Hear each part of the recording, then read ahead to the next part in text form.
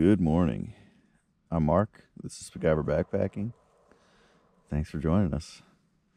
Out here on the trail, it's been a while. It's been too damn long since I've been on the trail. Uh, came in last night, got set up, hung out till it was about 10 o'clock, jumped in the hammock, got the bridge hammock back up, and, uh, man, slept good. Slept really good. Do have a story to tell you about that. We'll wait till I'm out and about, but uh, we got Rayman is over there in his. He's getting some coffee going, and that's about what I'm about to do. Is get some coffee going. Oh, look at all the room I got in here, man. Get the pole mod going.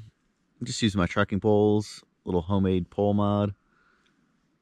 This palace tarp gives you plenty of room in here with this bridge. So while I got coffee going, so it's down here. I got the Fancy Feast on. I'm gonna do some G7 coffee this morning. I actually forgot my coffee, and Rayman was uh was smart enough to bring extras because he knows what I'm like without coffee. So it's one of those emergency things you got to do when you're out on the trail. It's like first aid kit, poop kit, backup coffee. backup coffee for Spiguyver. well, what I wanted to show you guys, when you're sitting in your, your hammock, bridge hammock, a lot of people are worried about where my poles are going. Now, there are a couple of things out there on the market that you can do. Um, actually, on the Ridge Runner, I had shown that you can take like inner tubes and put them over the piece right here so that when you slide this through, uh, this is covered by a piece of rubber.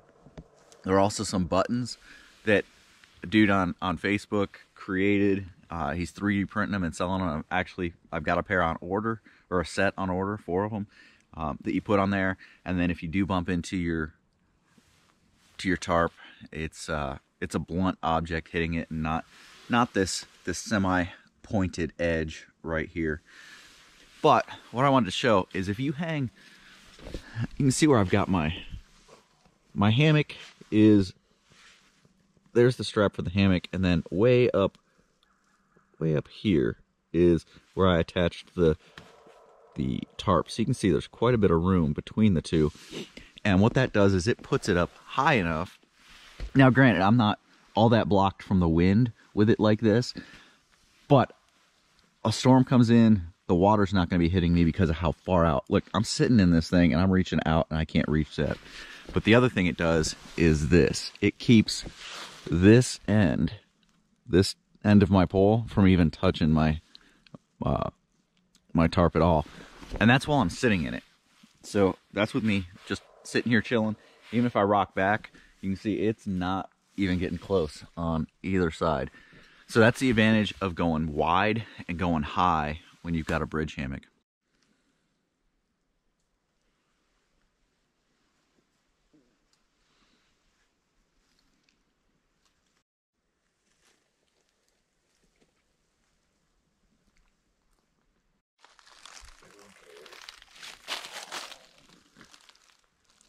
All right.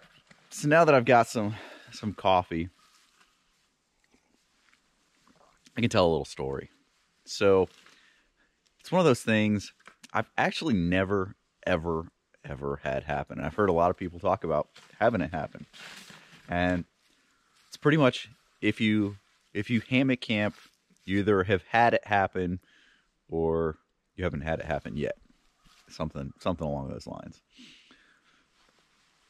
But uh, you know, we set up we set up in the dark last night, kind of kind of threw it up and then sat out here. We had a there's a bottle of Fireball sitting down there, so we had a little bit of a little bit of Fireball. And then I climbed into the hammock and uh, put on a movie, and all of a sudden, it, eh, just out of nowhere, thunk, I'm on the ground, and uh, I got I got lucky. You see that rock right there? That rock is not very far from where my head came down. So my head came down just about where my uh, GPS is right there. So really close to that rock. I hit the ground with a thud. Luckily there's nothing really hard or pointy that was underneath me. So uh, just a warning to make sure that you know what's underneath you and you're not, you know, I always say, don't hang higher than you're willing to fall. Uh, it didn't, it didn't hurt at all.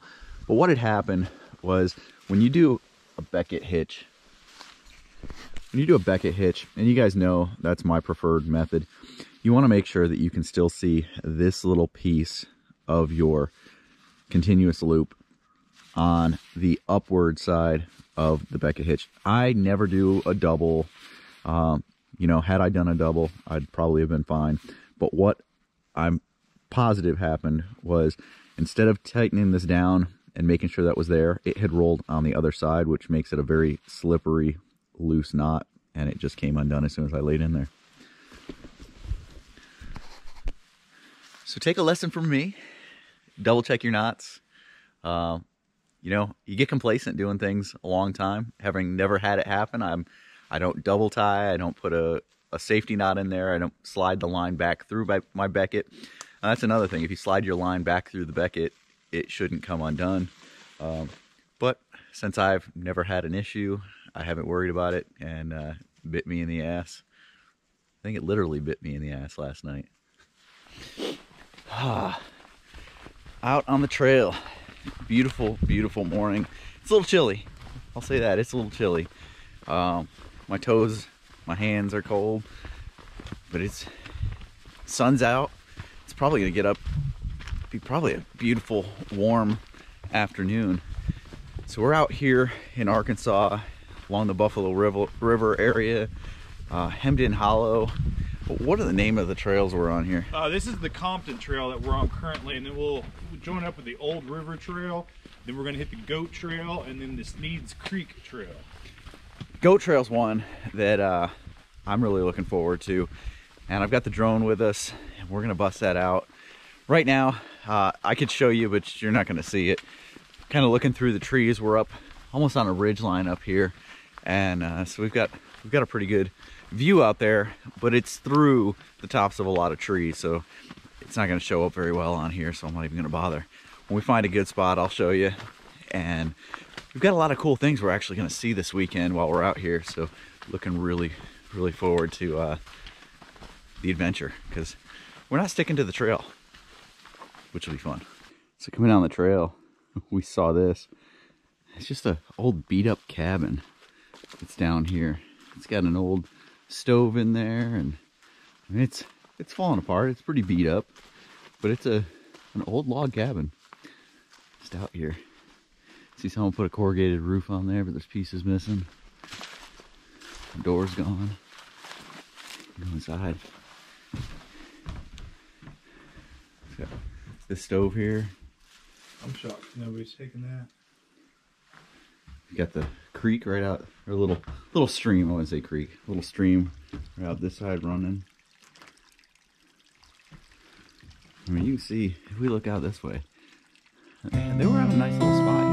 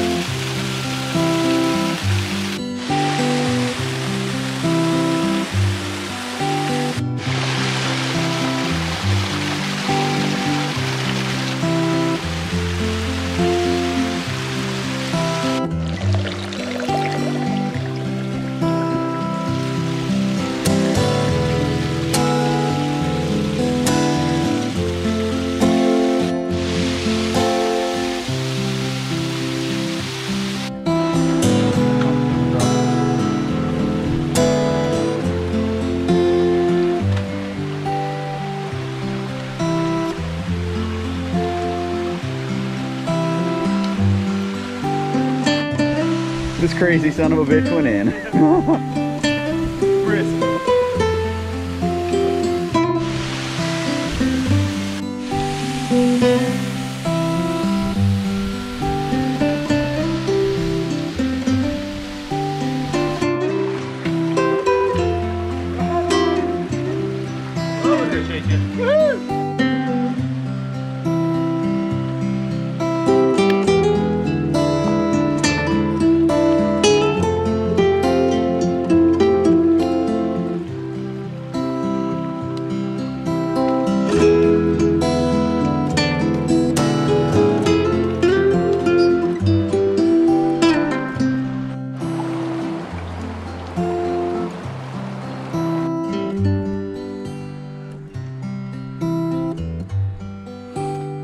So we're trying to avoid going across the river, which led us to here. And we found a, a crack up this rock that uh it's not exactly the, the easiest because you got your pack on and it kind of out it's like outcropping, but it's doable. You can see Chris making his way up right now.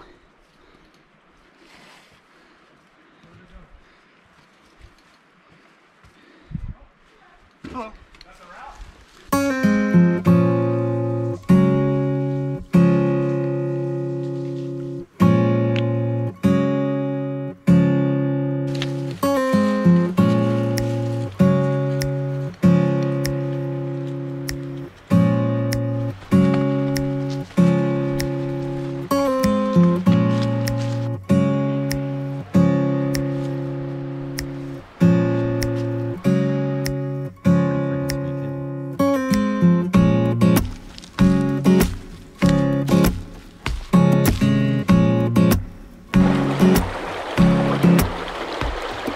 to do trying to get around we want to get underneath this bluff and walk kind of through there.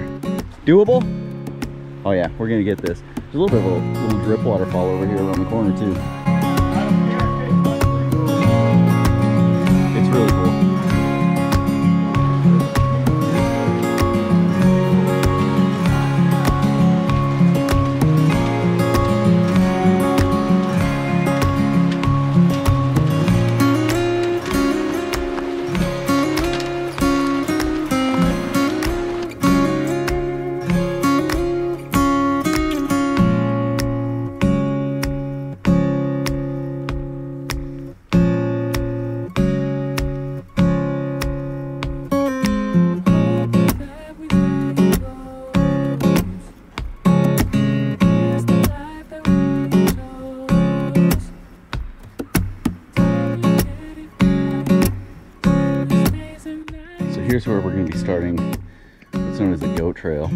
so it goes along the edge of this bluff with a pretty big drop off down to the uh, valley down below.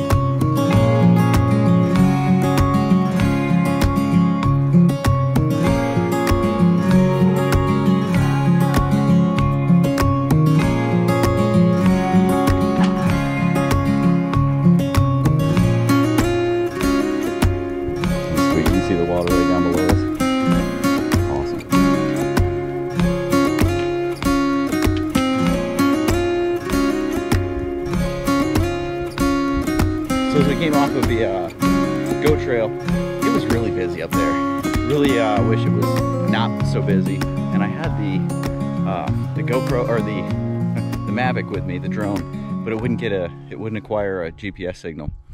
But now we've come down and we've come to this.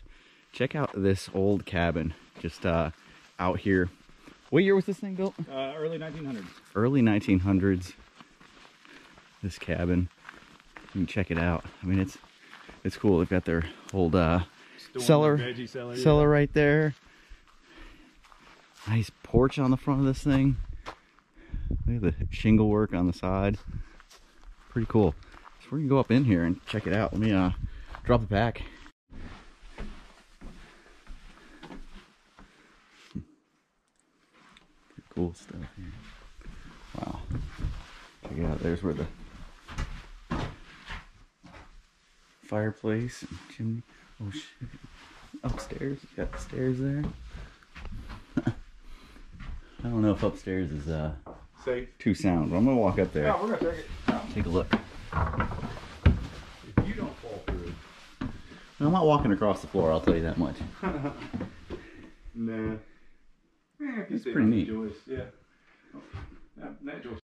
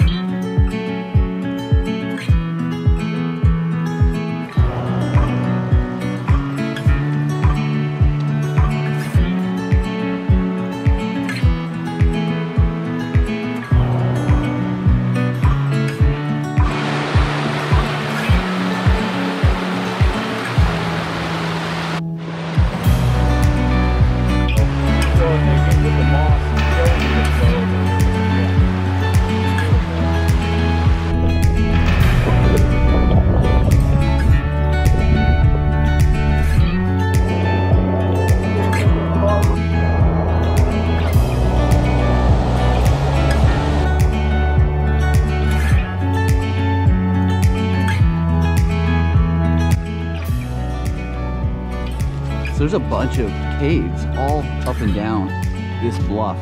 So we're gonna walk up to this one. This one looks absolutely huge. It's just, there's a ton of them. He said the last one went back about 75 feet.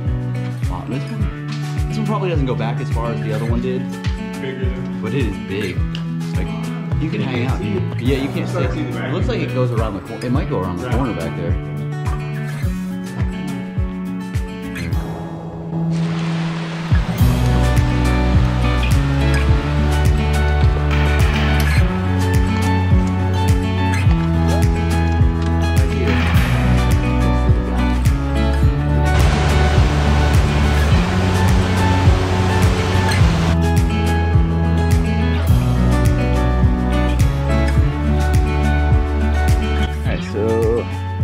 Camp. Got a couple of banyans hanging out. Got Rain Man and the Moroccan blue one back there. Me up front here. Yeah, turn around. We got the water right here behind us. Got a couple of little waterfalls up that way. And we got some uh, lunch going on, lunchish dinner. He's got the outdoor pantry Thai style chicken soup, which is a good one. And then I'm doing up some water right now for the yakitori chicken and fried rice. I'm gonna have to go down here and get some water in just a little bit, but uh, man, great, great site. We wandered all over trying to find the right site. I think we found it. I think we found the right one. Nicely spaced trees over here, uh, good flat area, water right here with us, and uh, you know, just beautiful, beautiful spot. Even out on the trail, brought the new, the new hoodie, got the new logo on there. I'm digging it, man. This thing is, it turned out really well. On the lighter gray, it stands out a lot better, but uh, I, I like this darker gray.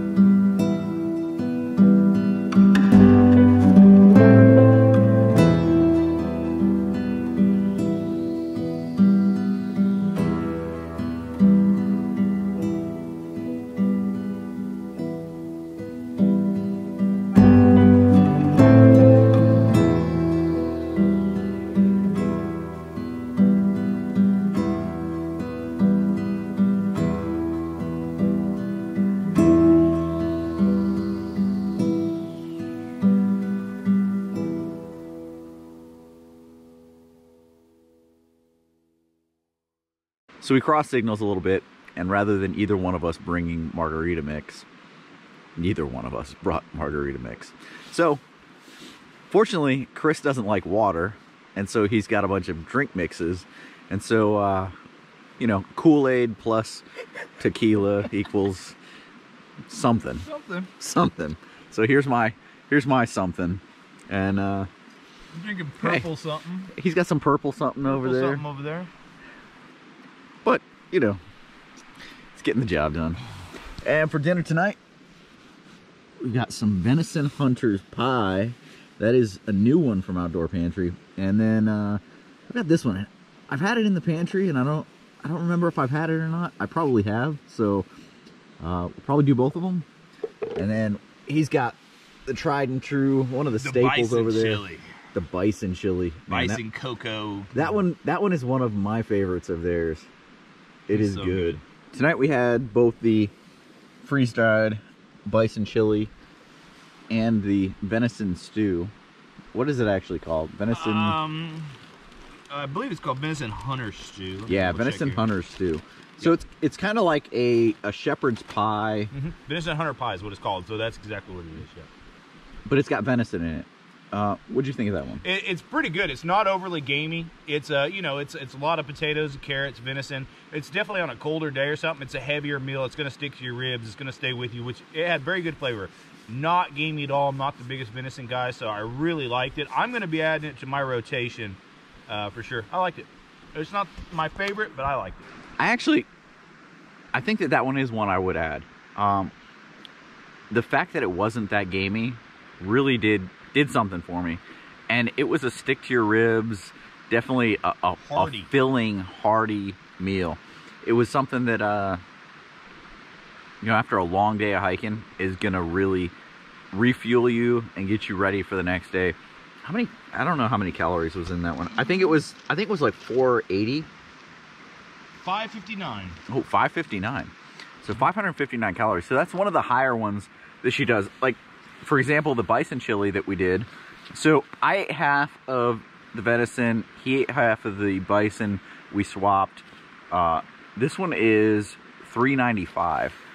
This one's more the more expensive and uh, lower calorie. But I say, and just as a shout, you know, on on this venison pie, again, not my top top favorite, but very good. Something I like about her meals, the ingredients: venison, potato flakes. Uh, you know, there's one or two additives, but then carrots, peas, onions, tomato, beef. I mean, it's real ingredients, um, and that's what I like about their meals, Outdoor Pantry's meals, is that it's it's homemade, it's small batch, it's real ingredients that she's making and sending out, and you can taste the you can taste that. I feel like. Yeah, I, I completely agree with with Rayman. You can taste the love, the the care that she puts into it. The I had mentioned at one point I'd taken a bite, and not only the venison flavor with it not being gamey, um, it was tender, but the carrot, the carrot was like sweet and perfectly done. I don't like cooked carrots, and I thought that was like a almost a highlight of the bite, which is it says something.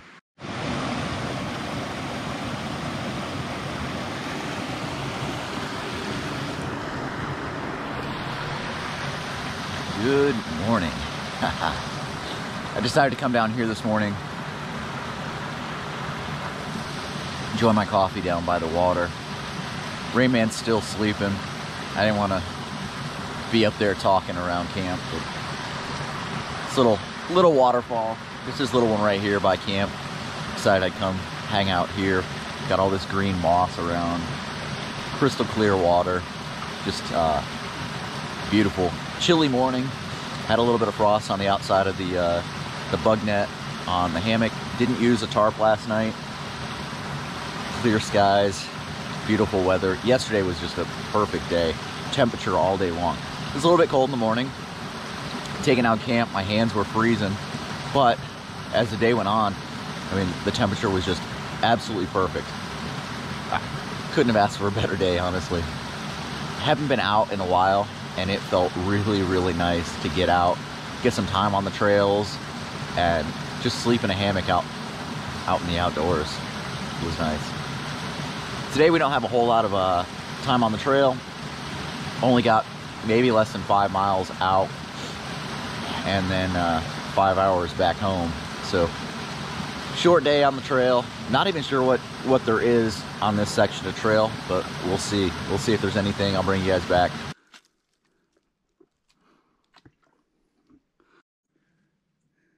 I don't know if you guys can see this, but there's like this circle here of these rock walls. We're up on the top of one, kind of looking down. But it's like an amphitheater with a little entrance right over here. There's an entrance in, but everything else around it is this wall. Pretty neat.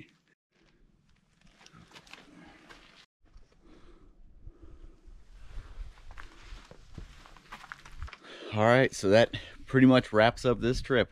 We uh, just came out. Actually came out a different trail, but at the same trailhead. Rain Man planned this one out. He had the whole whole route. He actually got it from Rob. Um, and it was a good it was a good trip. Really needed to get out. Weather was perfect. Uh, water was cold, so we didn't we didn't actually cross the Buffalo River at all. We found ways to uh, do some adventure and take some off off trail, uh, and and kind of piece it together that way.